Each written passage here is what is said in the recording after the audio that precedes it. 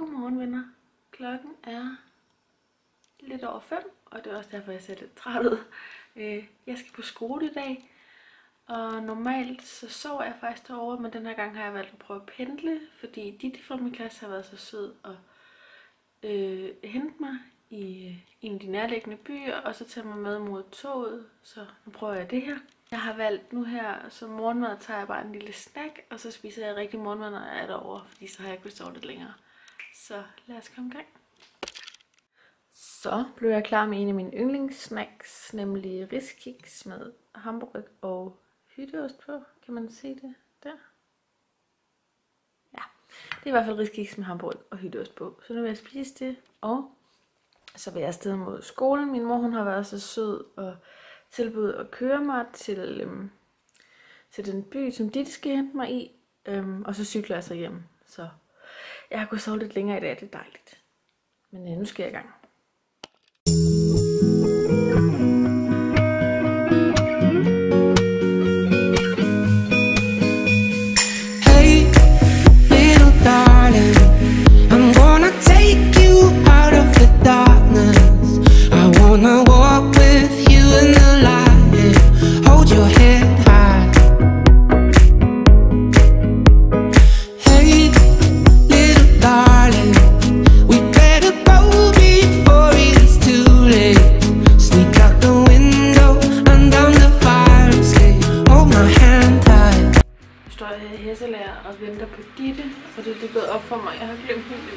Ikke.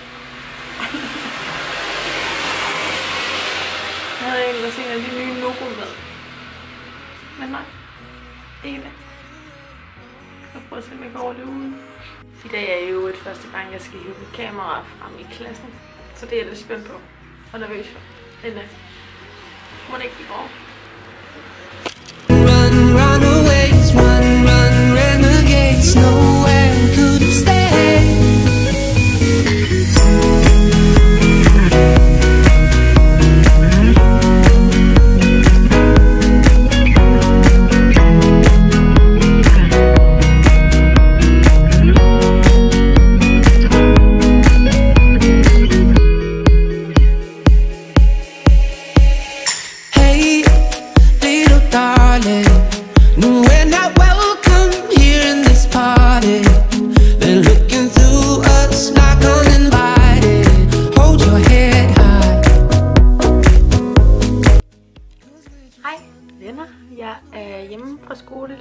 End forventet, hvilket betyder, at jeg kan nå en træning, så nu vil jeg skifte om til mit træningstøj. Så er det vist tid til pre-workout meal. Uff. Okay.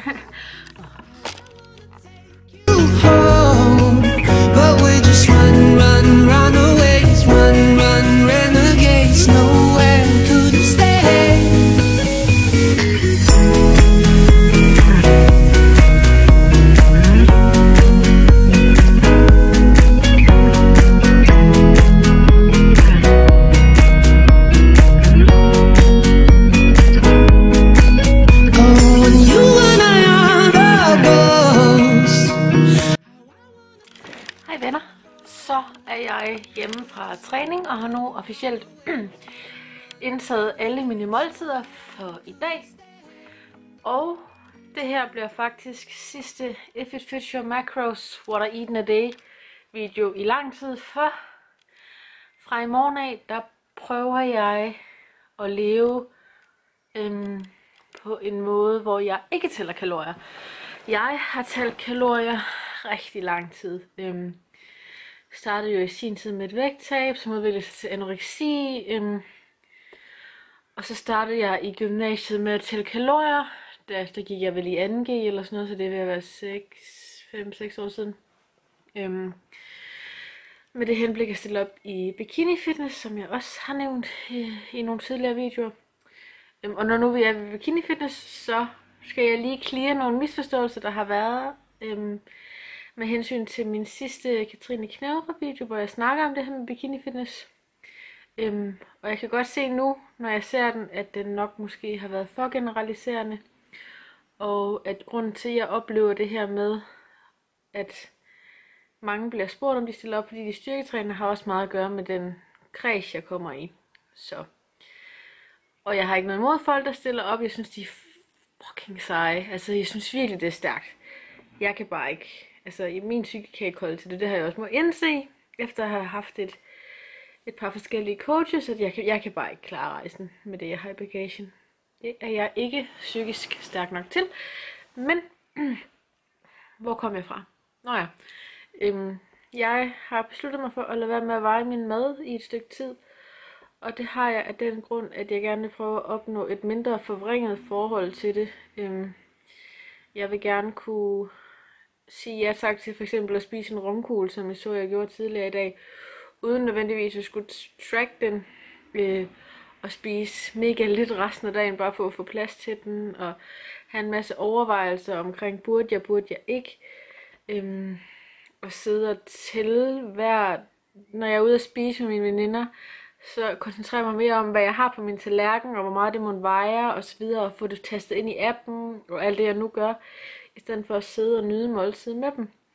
Jeg er træt af, at mad skal fylde så meget i mit hoved, og at jeg stresser så meget over, åh oh nej, får jeg nu forbrændt mine kalorier, og får jeg nu for mange, og får jeg nu for lidt, og det fylder simpelthen for meget i mit hoved. Øhm, og jeg har besluttet, at nu er det tid til lige, i hvert fald for en stund, at lægge madvægten på hylden, og så prøve at få et et, ej, jeg har blåbær om hele munden, der har jeg slet ikke set for nu.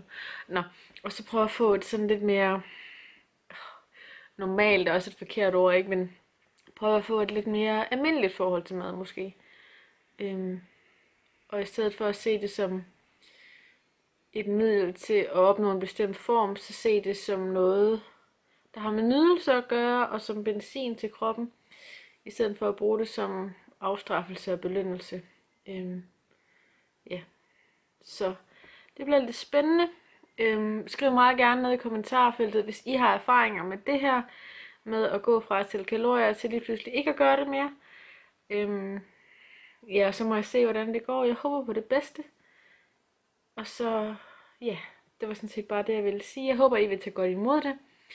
Øhm, hvis I glæder jer til at se, hvordan det kommer til at gå, der kommer selvfølgelig til at komme What I Eat in a Day øhm, videoer, også nu her, hvor, hvor jeg ikke tæller kalorier mere. Øhm, og hvis I gerne vil se flere af dem, så giv lige den her video et like. Øhm, og så vil jeg egentlig bare sige tak for i dag. Tak fordi I så med. Og nu skal jeg i bad og i seng, for jeg skal tidligere op i skole igen i morgen. Så vi ses forhåbentlig i min næste video, og please excuse alt det blåbær, jeg har i munden. Hej hej.